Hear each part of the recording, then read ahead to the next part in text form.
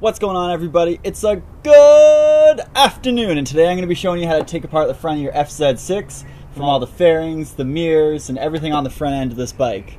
But before we get into that, I want to just tell you that I've started making some shirts just for fun. I know there's not a lot of you out there, but I love designing stuff, so I've made these shirts. And it'd be great if you could check it out. The link's in the description from my Teespring website. Have a look. So the secret behind this bike is that I crashed it a couple years ago. After crashing it, I repainted it, which is why it's two different colors because I couldn't get the OEM Yamaha paint, and this is some of the damage. Ever since then, the panels haven't quite fit the same. These are some of the cracks I repaired with fiberglass after low siding the bike just outside Los Angeles, California. To get started, we're going to take the 4mm Allen head bolts that hold the side black plastic pieces in, and then we're going for the four 4mm Allen head bolts that hold the center console plastic in. Don't forget about the two 4mm hiding on the inside corners of the inner dash. Before the front fairing and headlight comes out, we also have to take out the four 10mm bolts that hold on the mirrors on either side.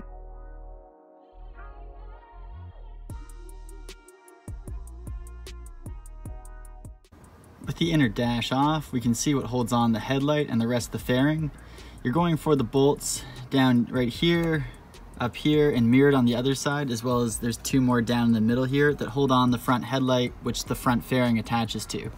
My bike has this extra attached, like, eyebrow thing here, and it bolts in right there and right there. You can see I've done a little bit of fiberglass repair there from cracking it in the crash.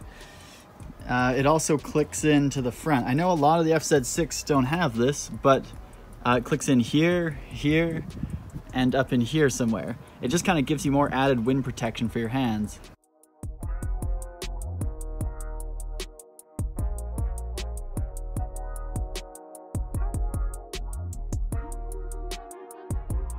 With the front fairing off, you can see where it attaches to the headlight in these four spots.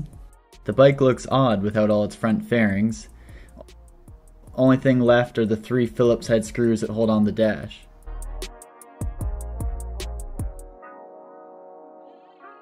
This is the extra eyebrow fairing that came on my bike. I know it's an original Yamaha part because the larger fairing is and it clicks into the original fairing so it must have been produced by Yamaha. You can see it attaches with two screws from the inside of the fairing and about four clipping points along the inside. This is the one that wasn't damaged in the crash. I think the part number reads 40836071090RE. And in the molding here it seems to say J O E H A, Joha. I have this problem with my right side turn signal always falling off. I've JB welded it and glued it back in place multiple times, but it always seems to break off. If anyone has any tips on how to fix this, let me know. Time to reassemble.